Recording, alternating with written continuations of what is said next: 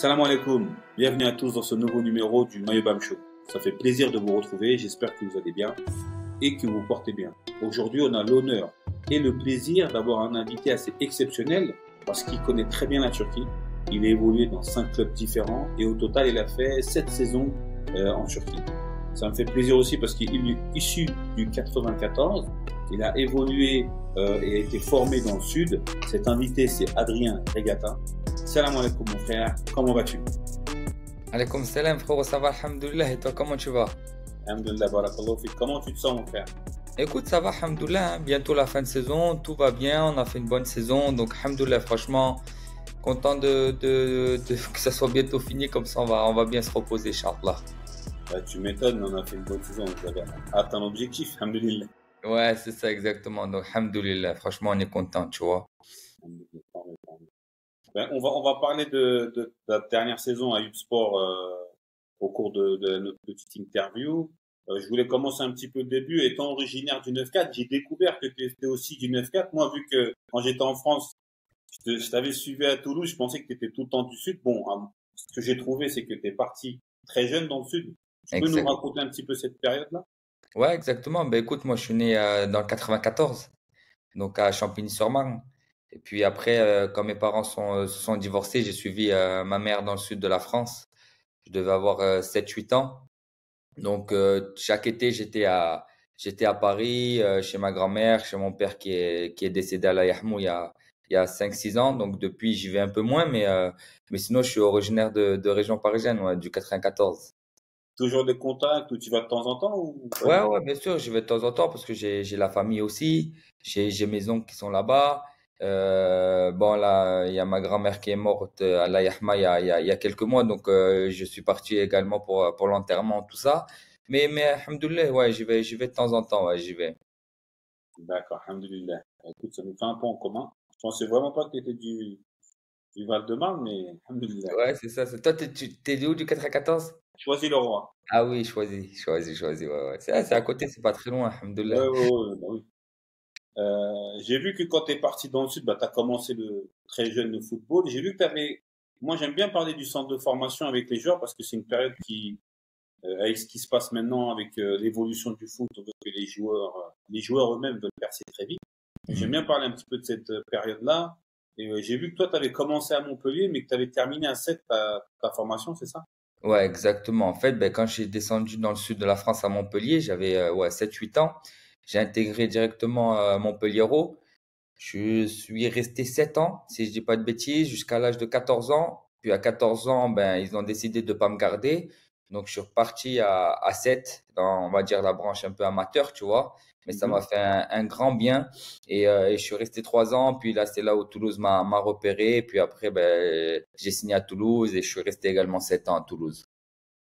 Et, et cette période de, à Montpellier, là, de 7 à 14 ans, c'était quoi comme style de centre de formation? Non, c'était franchement à Montpellier en termes de, de centre de, de, formation, de préfaux et tout, c'est vraiment top. En termes d'entraînement. ce que je voulais dire, c'est est-ce que c'est un truc où tu, tu, restes la semaine, tu rentres au week-end ou c'est que la journée? Non, non, non. Moi, euh, comme je suis originaire de Montpellier, du coup, je dors chez ma mère, je suis en famille. Euh, après, à 13 ans, euh, ils ont essayé de me mettre en centre de préfaux, tu vois, mais je suis pas resté longtemps. Je suis resté une semaine parce que ça me plaisait pas du tout. Et comme moi, j'étais originaire de Montpellier, du coup, euh, j'allais au centre euh, de formation et puis j'allais euh, au collège. On avait, tu sais, le sport-études, quoi. Je prenais le bus le matin, on était plusieurs de Montpellier, donc on allait ensemble. Mais le soir, je rentrais toujours à la maison, tu vois, et ça, c'était mieux pour moi. D'accord, ok. Euh, donc cette période euh, centre de formation, que ce soit euh, Montpellier ou tu as dit que ça t'a fait du bien. Dans quel sens c'était de passer à une autre étape à 7 en termes d'amateur, c'est ça? Ouais, exactement. Puis tu sais quand bah après surtout à l'âge de 14 ans, ils ont eu des paroles un peu un peu un peu sévères avec moi, tu vois, genre en gros arrête le foot. des... En plus, moi, j'avais pas mes parents à la réunion, j'étais tout seul ce jour-là, donc je m'en rappellerai toute ma vie, tu vois. Et puis après 7, ils m'ont, ils m'ont accueilli, j'ai eu un coach super, Et puis un an après, Montpellier m'ont rappelé, tu vois, et j'ai j'ai décidé de de, de, de pas y aller parce que vraiment ce qui ce qui m'avait fait, c'était vraiment vraiment dur. Mais bon, aujourd'hui, je le prends pour un mal, pour un bien, alhamdoulilah, tu vois. Ah. Ça m'a forgé, ça m'a fait du bien. Puis j'ai eu cette euh, on va dire, euh, envie de, travailler encore plus, de progresser, de leur prouver également, tu sais, euh, qu'ils se sont trompés, quoi, tu vois, en me virant et tout. Et puis, alhamdoulilah, ça s'est super bien passé à 7. J'ai fait trois ans. Euh, j'ai connu des gens extraordinaires dans ce club-là, des potes encore aujourd'hui. Donc, franchement, on avait une équipe, elle était vraiment, vraiment très bonne. On a été plusieurs à passer professionnels. Donc, vraiment, je regrette pas du tout, tu vois. Il y a toujours un khel, comme tu dis. Exactement, il y a toujours un khel. Donc, alhamdoulilah. Euh, comme tu l'as dit, tu l'as fait toi-même la transition. C'est là que Toulouse t'a remarqué. Tu, de ce que j'ai pu voir, tu as commencé un CFA2, mais ça n'a pas trop duré. Tu t'es fait rapidement remarquer par, euh, par, euh, par l'équipe pro. Et comment ça s'est passé ça? Ben En fait, à la signature, quand ils m'ont voulu, j'ai déjà repris avec les pros. Tu sais, à la, mmh. à la reprise de l'été, pour faire les stages et tout, c'était fin juin. Et on était 5-6 jeunes. Donc j'avais déjà intégré, mais par contre, voilà, j'avais fait la, toute la préparation avec les pros, les matchs amicaux, tout ça, c'était bien passé. Puis après, je suis reparti en CFA. C'est-à-dire quand même que je m'entraînais quand même euh, la semaine avec les pros. Et genre vers le jeudi, vendredi, je repartais avec la CFA 2. Et alhamdoulilah, j'ai pu faire mes matchs, j'ai pu progresser, tout ça. Et puis petit à petit, j'ai pu intégrer l'équipe professionnelle. Et puis à la fin de, de mon stagiaire, euh, six mois avant, ils m'ont proposé euh, professionnel. Quand tu t'entraînais avec les, les pros, tu n'étais pas impressionné? Ben, Tu es toujours un peu impressionné au départ, c'est normal, tu vois, surtout que j'étais à 7. Bon, même si j'avais eu euh, la chance d'évoluer en, euh, en national très jeune, donc du coup, j'étais déjà avec les seniors, on va dire, à 16 ans et demi. Donc, euh, mais après, quand tu arrives en Ligue 1, c'est une étape supérieure. tu as des joueurs comme Gignac, Moussa Sissoko, euh, mais ils m'ont tous très bien intégré. Donc, euh, franchement, en plus, j'étais pas seul jeune, on était 4-5 jeunes. Euh, donc, franchement, ça s'est super bien passé. Mais au début, bien sûr, tu es intimidé, tu vois, tu es jeune, tu as 17 ans, tu arrives, c'est la Ligue 1, ça va beaucoup plus vite, l'intensité, tout ça. Donc, donc voilà, tu te dis, ben, faut que, faut que je travaille dur pour, pour, pour y rester, quoi. Tu vois ce que je te dire? L'image que tu refaites, c'est incroyable, c'est que de, même quand, moi, je me rappelle de toi à l'époque de la Ligue 1, mais même quand là, j'ai revisionné des vidéos et que je regarde encore les vidéos d'aujourd'hui euh, en Turquie, il y a toujours la même euh, détermination. Ouais, moi, c'est quelque chose, franchement, depuis le départ. Tu vois, déjà, le football, pour moi, c'est pas, tu vois, bien sûr, c'est un métier, c'est notre métier, mais pour moi, c'est une passion. Je suis trop, trop. C'est la vie. Pour... Le foot, c'est la vie pour moi, tu vois. C'est-à-dire que même dans les jours off, eh ben, je vais aller jouer au foot avec mes collègues. Même en vacances, je vais aller faire des fives. Euh, dès que je peux, je rentre à la maison, je regarde que du foot. Tu vois ce que je te dis? Moi, le foot, c'est ma vie. Donc, du coup, euh, voilà, moi, me lever le matin, aller à l'entraînement, ben, c'est vraiment un plaisir. De travailler en salle de muscu, de tout ça, pour moi, c'est vraiment euh, un plaisir de fou, tu vois. Parce que quand tu marches, frère, on voit que t'es déterminé. Ouais, c'est vrai, ça. On me le dit souvent, tu vois. Mais après, c'est tant mieux, Ouais, c'est des choses. Ça, se voit que t'es impliqué, ça se voit que t'es à la rage, ah, C'est des choses que tu contrôles pas, ça. Tu vois ce que je te dis C'est, c'est, c'est de l'instinct, en fait, tu vois. Tant mieux, tant mieux. Est-ce que, celle-là, je la pose tout le temps, est-ce que tu te rappelles de ton premier match en Ligue 1 quand c'était contre ouais. ouais, bien sûr, parce que regarde, l'histoire, elle est belle, là. C'est contre Montpellier. Code Montpellier, c'était en 2009, décembre 2009. Donc, euh, en gros, ben, il m'avait viré à 14 ans. Et puis, mon premier match à 18 ans en Ligue 1, c'est contre Montpellier. Donc, ouais, bien sûr, je m'en rappelle. Je m'en rappellerai toute ma vie, tu vois. Ah ouais, j'ai, quand j'ai fait ça, j'ai, pas fait le lien. Ouais, tu vois, c'est comme Montpellier, ouais. Tu vois, comme on dit, il y a un khel et Allah, il fait bien les choses. Donc, alhamdoulilah, tu vois. Est-ce que euh, toi, il t'avait pas gardé, tu as dit certaines choses qui, qui t'ont dit, euh, mais est-ce qu'il y avait euh, à cette époque-là, ta, ta, génération un peu, il y avait, moi j'ai l'impression, hein, même depuis les interviews que j'ai faites un petit peu, euh, des, certains types de joueurs ou certains gabarits, ils s'y croyaient pas, ils voulaient pas investir, tu vois. Ouais, bien sûr. Un peu le même gabarit, on va dire qu'à la Maraise un petit peu, tu vois. Même j'ai interviewé Faisal Fage. Et euh, c'était un peu pareil, tu vois, un peu frêle, un peu truc. C'est ça, exactement. Moi, j'étais petit, j'étais frêle.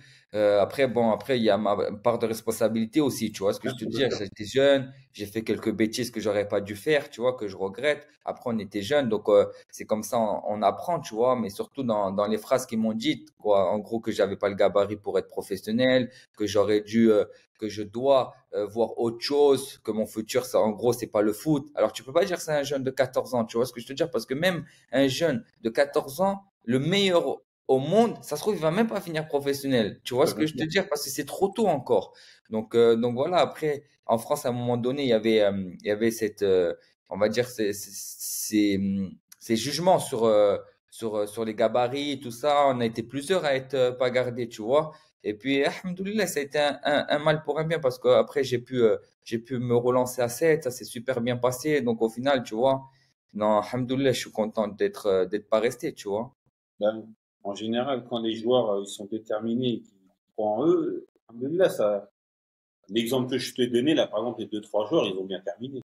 Ouais, exactement. Non, non, exactement. Puis, puis à Montpellier, on a été pas mal euh, qui n'ont pas été gardés, derrière qui ont qu'on a fini professionnel, tu vois, et de la génération 91 de ma génération qui sont restés à Montpellier jusqu'au bout, il y en a pas beaucoup qui sont restés au final, tu vois, qu'ils ont signé pro. Parce qu'en plus de ça, ils n'ont pas eu la chance, ils n'ont pas eu de chance parce que la génération 90 de Montpellier, elle a été très très forte. Ils ont mmh. gagné la Gambardella. Euh, donc du coup, la génération 91, ils l'ont un peu euh, un peu sauté, tu vois. Donc au final, ça a été une bonne chose, tu vois. Exactement.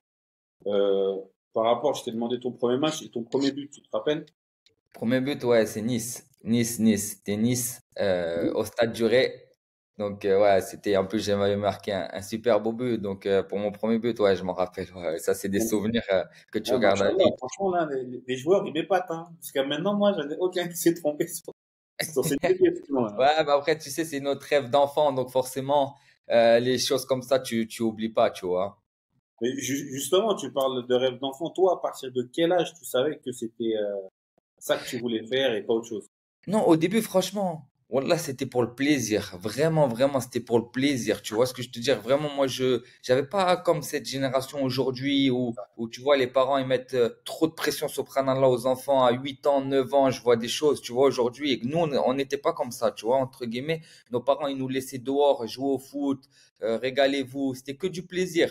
Puis, un bout d'un moment, voilà, vers euh, quand je suis parti à Toulouse, tu vois, quand je suis parti à Toulouse, peut-être un an avant, quand j'ai commencé à jouer avec la nationale, et que les, les anciens de 7, ils m'ont dit, Adri, tu peux faire quelque chose, lâche pas, travaille, sois sérieux, parce que tu peux changer ta vie et celle de ta famille. Et un bout d'un mois, eh ben, j'ai pris ça en compte, tu vois ce que je te dire.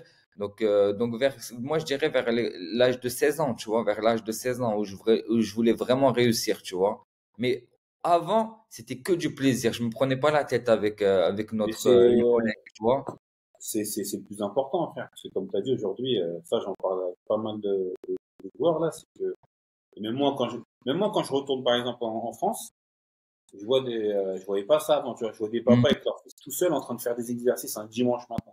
Ouais, ils sont déterminés. Hein. Ils sont déter. Tu sais, le projet, le projet Mbappé, comme il l'appelle, tu vois ce que je te dis. Et pour moi, ça, ça a pris trop, trop, trop d'ampleur. Ça a pris trop. Et ça met trop de pression aux, gamins, tu vois. Comme tu dis, à 7, 8 ans, ils s'entraînent individuellement avec des coachs, avec leurs parents moi, je trouve que c'est pas une bonne chose. Il faut laisser le gamin. Après, bien sûr, tes parents, tu envie que du bien de ton fils. Donc, si tu veux l'entraîner, tu peux l'entraîner. Mais pas lui mettre dans la tête, tu vas être pro, tu vas être pro, il faut que tu fasses ça pour être pro. Tu vois, c'est pas ça. Faut lui dire, tu fais ça juste pour t'améliorer. Si tu aimes ça, on va aller s'entraîner. Si t'aimes pas, il faut pas le forcer, tu vois. C'est sûr, c'est sûr. Le, le kiff avant tout. Hein, de, voilà. Exactement. Et, et, pour moi, il n'y a rien de mieux de, de, de, jouer entre amis. Tu sais, nous, à l'époque, bah, tu sais, comme par, pas mal de, de, joueurs de foot, tu sais, on, on allait à la cité, on jouait au City Stade et on restait du matin au soir. Et pour moi, il n'y a, y a rien de mieux pour apprendre. Tu vois ce que je te dire?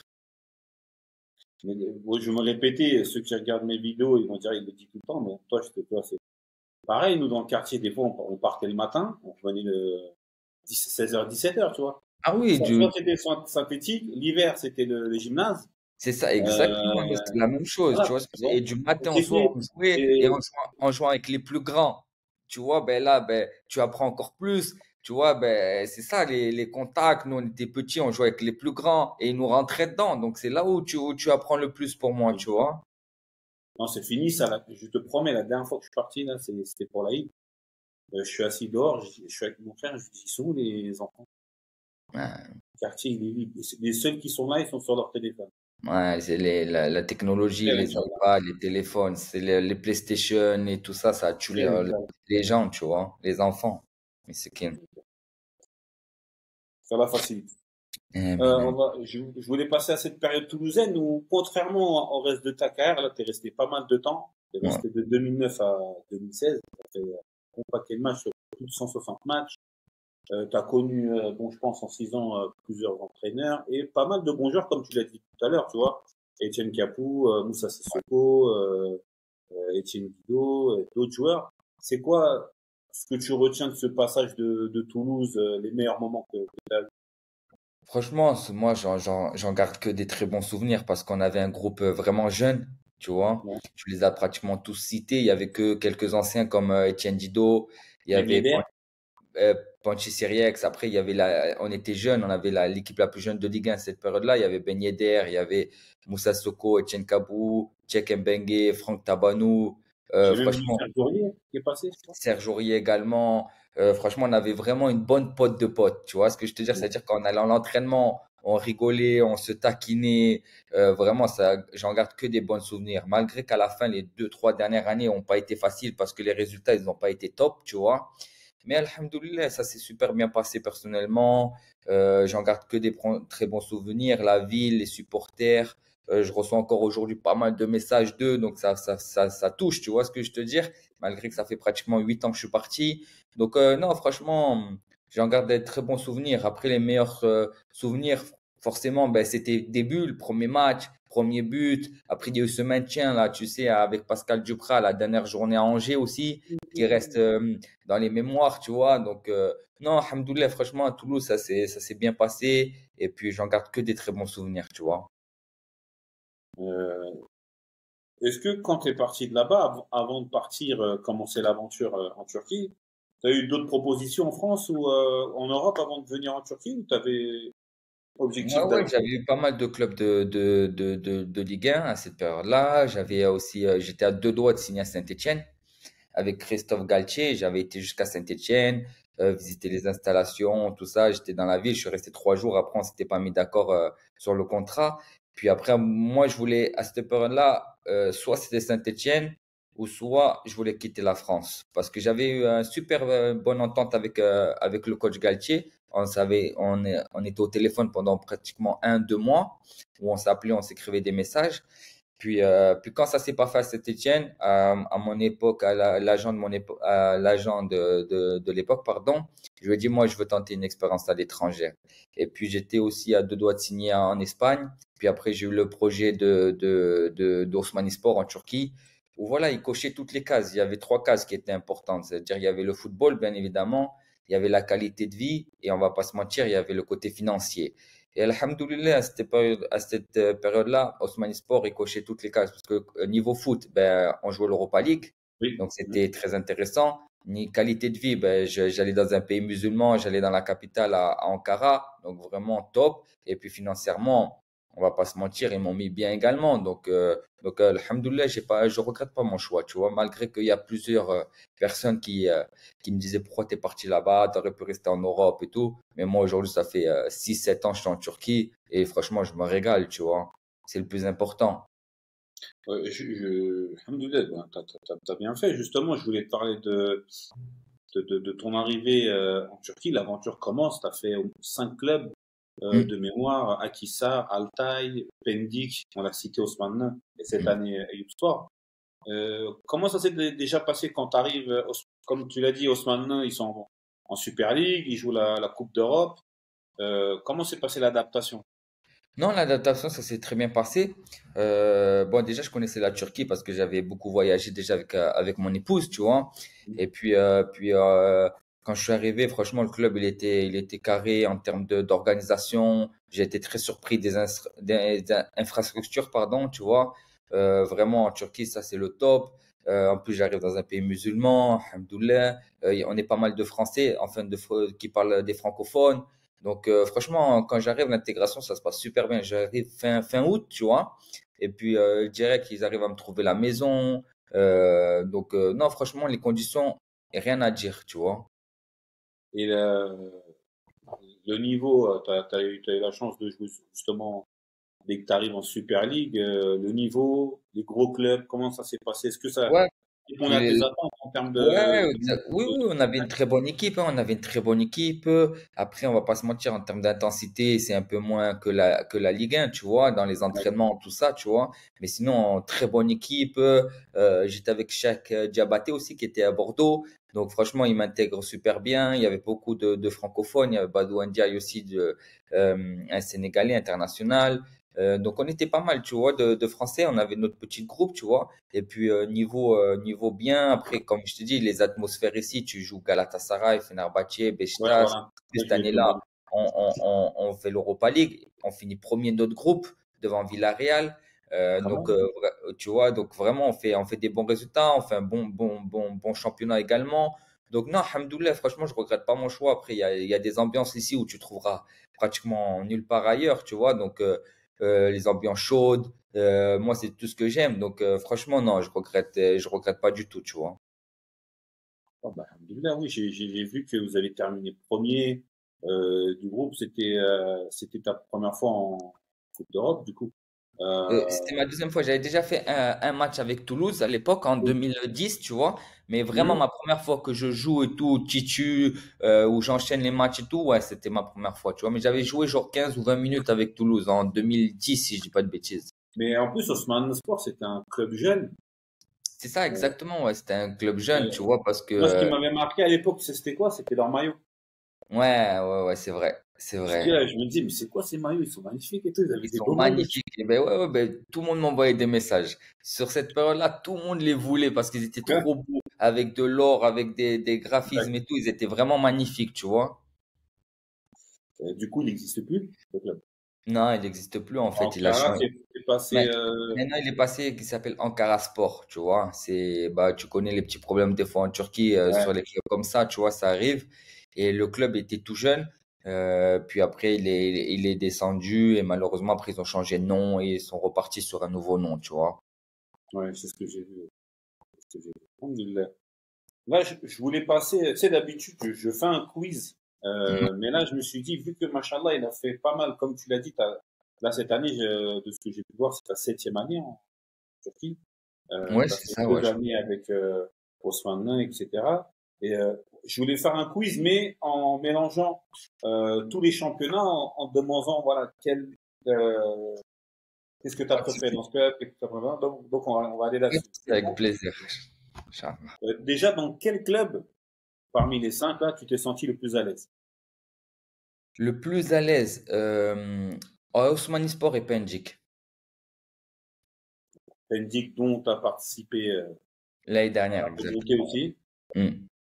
Exactement. un pro des remontées, mon frère. Hein, ouais, ben là, c'est, c'est la troisième. C'est la troisième. Donc, euh, franchement, ça, ça me plaît bien. Tu vois, les, les challenges comme ça, là, de, de jouer pour la montée avec, euh, avec des équipes qui ont, qui ont, on va dire, des, des, des objectifs de montée. Euh, donc, moi, ça, ça me plaît bien, tu vois.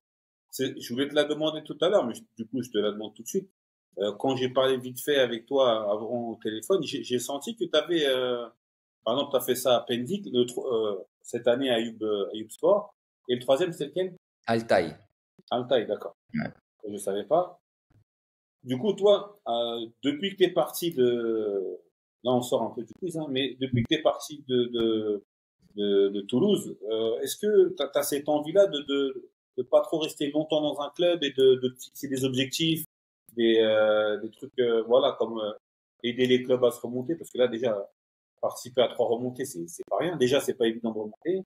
Hmm. Euh, est-ce que c'est ça qui, qui t'anime ou tu préfères un club de 3-4 ans ou de 3 ans? Non, en fait, je suis tellement resté longtemps à Toulouse, tu vois, que après, je suis, dans ma tête, j'ai, maintenant, je signe que d'un an. Je signe que d'un an parce que j'aime bien être libre en fin de saison. J'aime bien voir qu'est-ce qui va se passer, où je peux aller, et j'aime bien changer maintenant. Je, c'est pas que je me, je me, comment dire, je me lasse vite, mais j'aime bien changer. Euh, on fait un métier extraordinaire, tu vois. Entre temps, je, je, suis parti un an en Grèce, je suis parti un an en Amérique.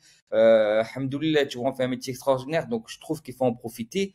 Et, euh, et si j'ai une bonne opportunité à l'étranger ou quoi, ben bim, je peux partir parce que je suis libre, tu vois. Il y a rien qui me retient en fait. Et si je suis bien en Turquie, ben je reste. Alhamdoulilah, ça fait sept ans que je suis là. Entre temps, ben, comme je t'ai dit, je suis parti un an en Grèce, un an en Amérique.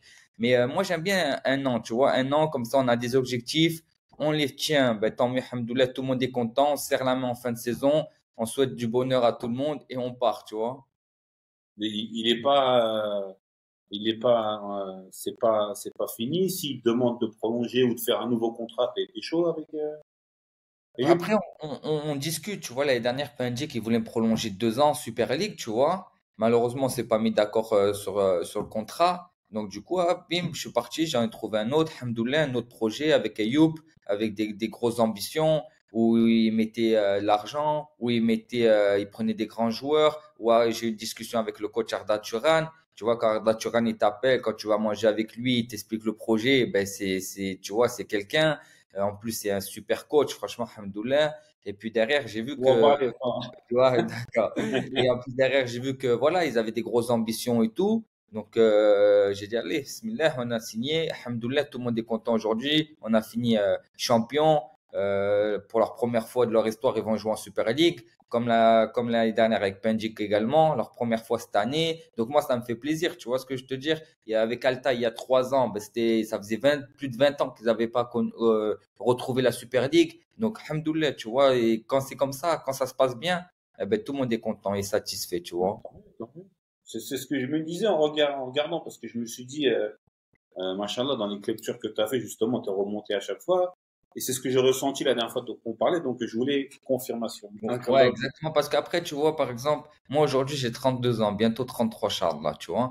Et aller dans une équipe qui joue le maintien en Super League, c'est, tu vois, c'est, mentalement c'est dur. Euh, les problèmes après de paiement, euh, tu vois, le football, c'est pas le même. Quand tu joues dans une équipe qui joue euh, pour être champion et une équipe qui joue pour rester dans la ligue. C'est pas le même football. Moi, je suis un joueur offensif.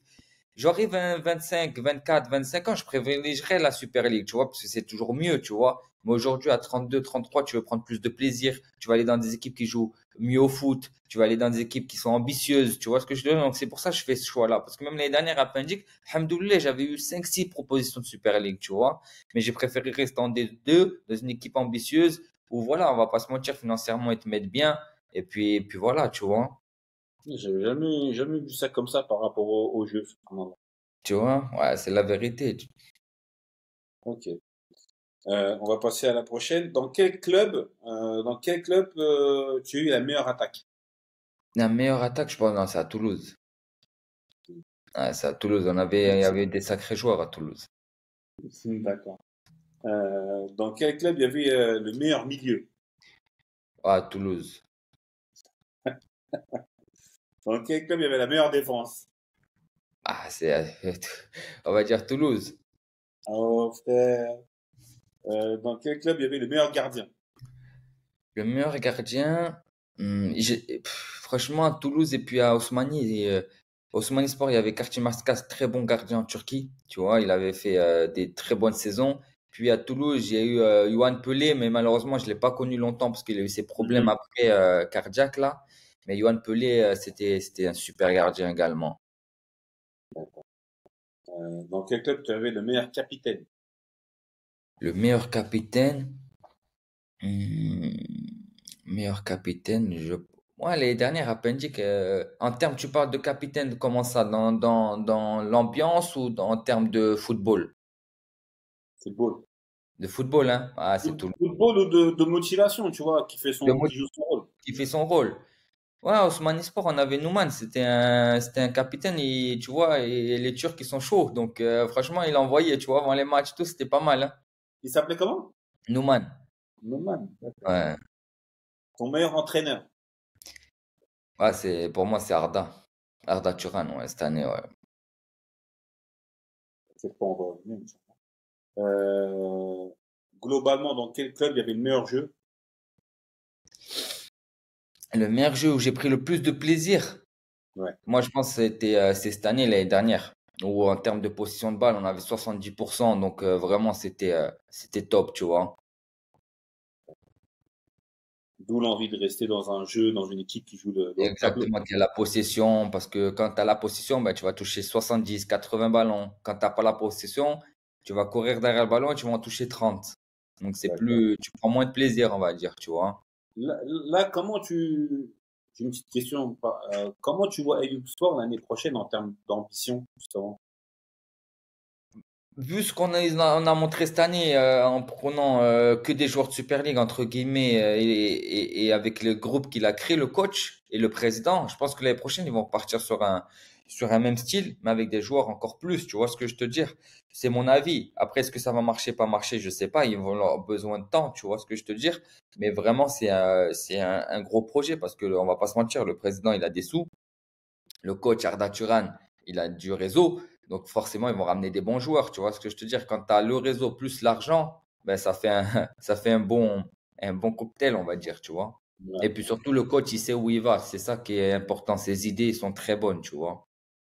Il sera l'année prochaine ah, Après, Allah ça, je sais pas, mais je pense que oui. Je pense que oui, il va rester. Ouais, je pense qu'il va rester. Je pense pas qu'il va se cramer tout de suite. Non, non, non, je pense qu'il va, il va rester encore. Il, va, il, va, il va connaître la Super League avec Ayoub Sport, je pense. La dernière question de ce petit quiz interclub là. Euh, avec quel coéquipier tu avais la meilleure entente sur le terrain? Sur le terrain, euh, je pense que ça a été avec avec Wissam Ben Yedder au début. À, nos débuts, on s'entendait très bien. Ouais. Celui-là, il est franchement, il, a une bonne régularité. Hein, euh, c'est un top player, hein, franchement, c'est un super joueur. Hein. Ce qu'il fait depuis 10 ans, il y, a, très peu d'attaquants, comme tu as dit, en termes de, régularité. Il met chaque année 15-20 buts minimum. Hein. Donc, euh, non, non, il, il, fait une très, très grosse euh, carrière, tu vois.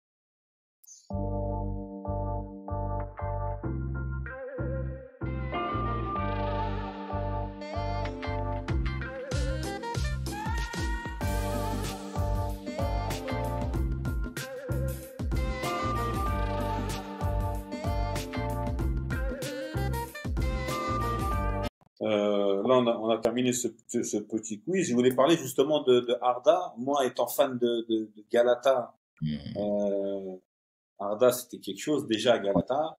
Euh, ensuite, à l'étranger, Atletico, Barça. Et là, est-ce que tu peux nous parler de lui en termes euh, d'entraîneur? On voit un petit peu de l'extérieur quand on voit les petites vidéos euh, avec euh, avec vous justement dans les vestiaires ou même sur le bord du terrain qu'il a un peu qu'il est chaud, qu'il a investi. Comment tu, tu, tu, tu, déjà toi tu l'as nommé entre guillemets, euh, on va dire meilleur euh, entraîneur que tu as eu. Comment euh, tu as vu son arrivée et ses, son, sa petite évolution cette année? Non, ben franchement après comme tu as dit c'est quelqu'un de chaud, tu vois sur le au bord du terrain, tu vois c'est quelqu'un avec un fort caractère, mais en dehors de ça c'est un mec extraordinaire, tu vois vraiment.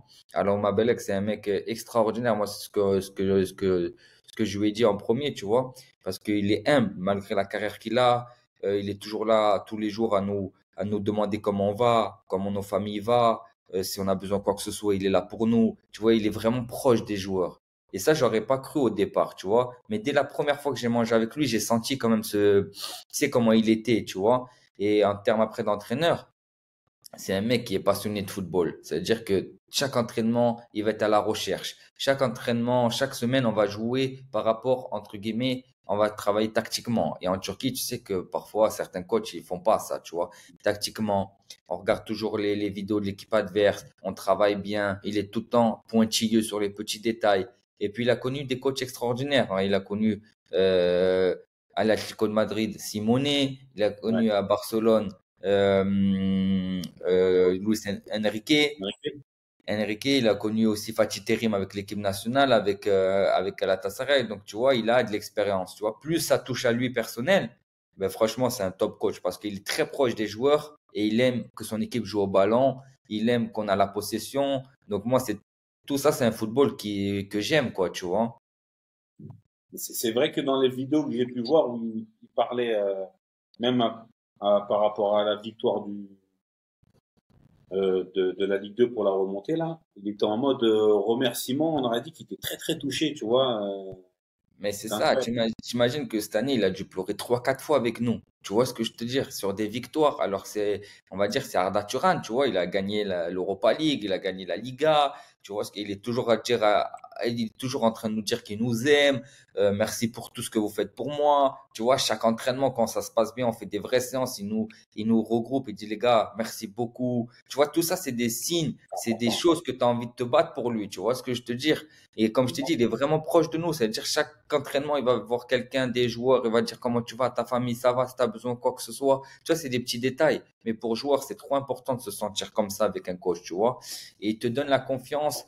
Et vraiment, je te dis, franchement, cette année, on a vécu des super bons moments. Euh, franchement, quand un, coach comme ça, il se met à pleurer devant les joueurs deux, trois fois euh, pour, pour nous remercier, c'est un truc de fou, tu vois. C'est sûr, c'est sûr. On a, on, a, cité tous ces passages, mais on a l'équipe nationale aussi. Il a fait de, très, très, très belles choses.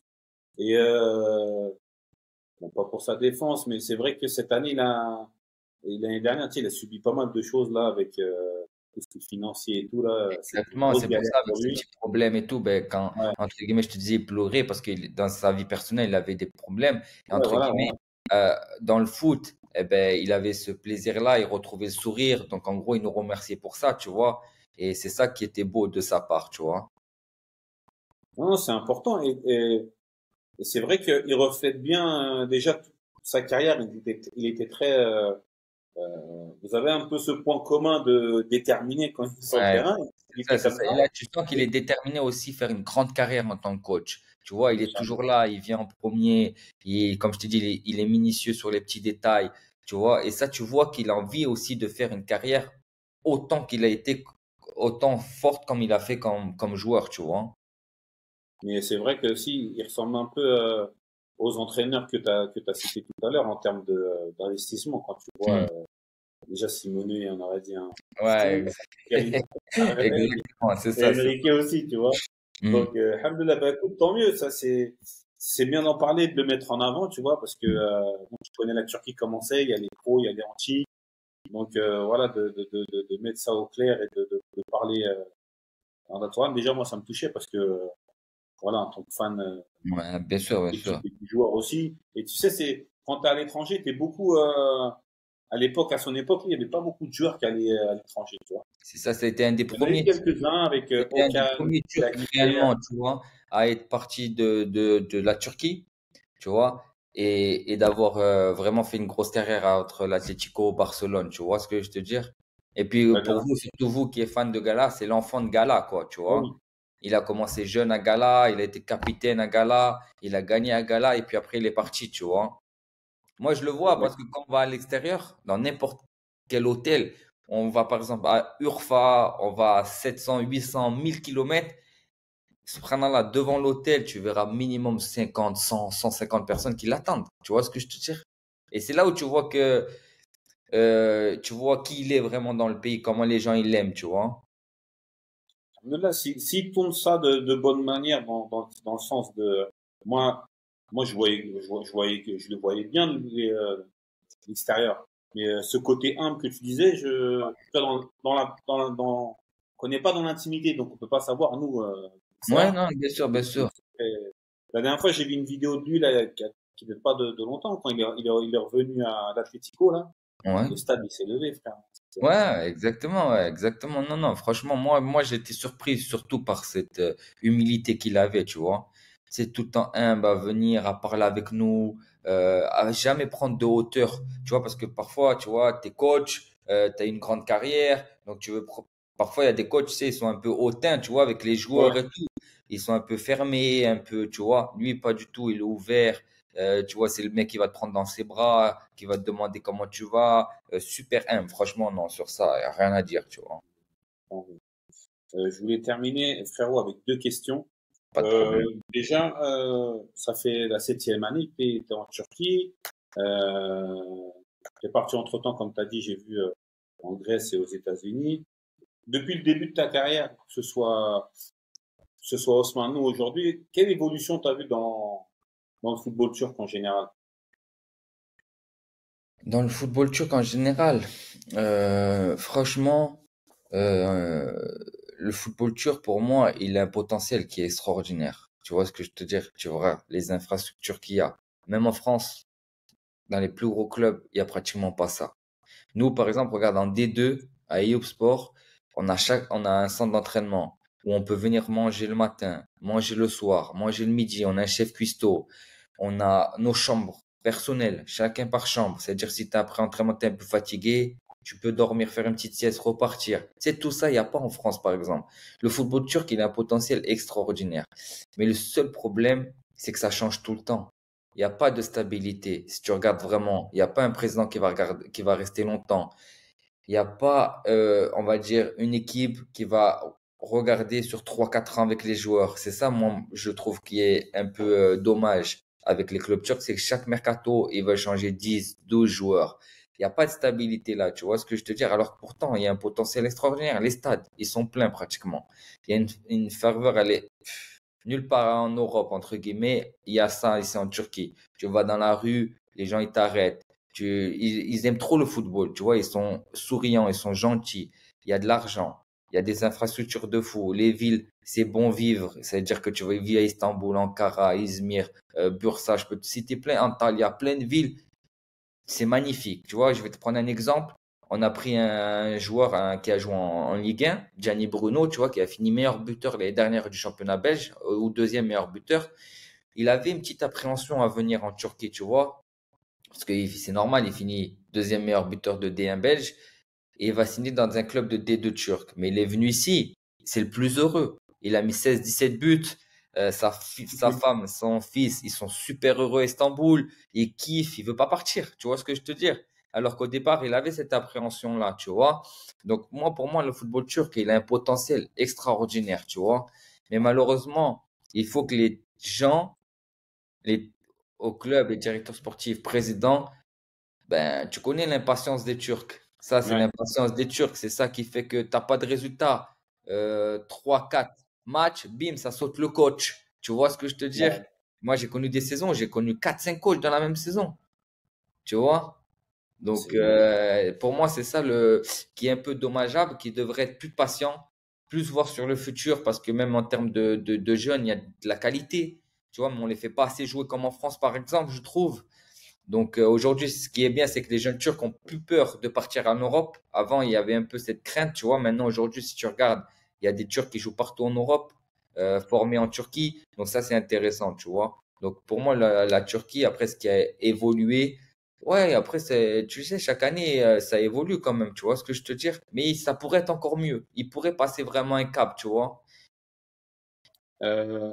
celle-là, j'ai un bien l'esprit, là, c'est par rapport à ce que tu as dit tout à l'heure en termes de, parce que ça, ils m'en parlent tout le temps. Hein. Même des joueurs qui voudraient revenir, mais ils disent, le problème, c'est qu'il y a des soucis de paiement. Est-ce ah que oui. Ligue 2, c'est pareil? Ouais, il y en a partout, malheureusement. Tu vois, moi, je, te parle de mon cas personnel. Tu vois, je ne vais pas te parler des sommes, mais je vais te parler de ce qui m'est arrivé. Par exemple, à Kissar, je suis en procès avec eux depuis 5 ans, 4 ans. Tu vois ce que je te dis Altaï, on a été champion de D2. Ils me doivent de l'argent encore. Je suis en procès depuis 3 ans. Mais malheureusement, moi, je dis, euh, Alhamdoulilah dans tous les cas, tu vois ce que je te dire? Mais quand tu mets un pied en Turquie, il faut savoir qu'il y est ça. Donc, il faut pas euh, faire l'étonner. Tu vois ce que je te ouais, dire? C'est un risque qui fait partie de... Tu viens ici, tu prends du net. Tu, en France, tu payes 50% de taxes. Ici, c'est du net, c'est 0%. Mais il y a ce risque-là qu'il y a des problèmes d'argent parfois. Donc, quand tu viens, tu peux avoir ces problèmes. Donc, faut, faut pas euh, faire l'étonner. Oh, j'ai des problèmes. Ouais, mais tu savais au départ, il y a ce risque-là. Après, bien sûr que c'est pas bien. On va, je veux pas défendre les clubs qui payent pas. Parce que moi, ils doivent énormément d'argent, là. Tu vois ce que je te dis? Mais alhamdoulilah. Parce que voilà, ce que j'ai gagné ici, je l'aurais jamais gagné en France.